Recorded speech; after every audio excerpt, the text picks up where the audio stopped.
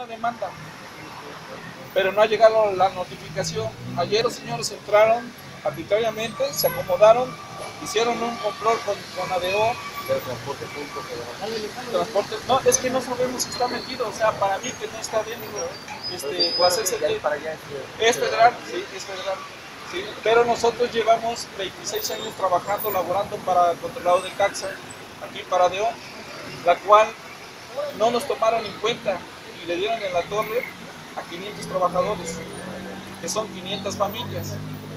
Entonces nosotros no estamos de acuerdo con las reglas que está poniendo ADEO.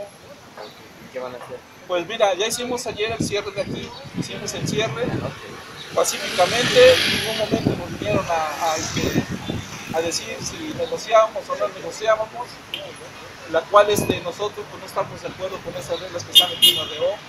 Queremos ver qué se puede hacer ahorita, ¿no? Ahorita tenemos que esperar que llegue la notificación. Una vez llegada la notificación, tú sabes que el proceso se lleva de uno a dos horas.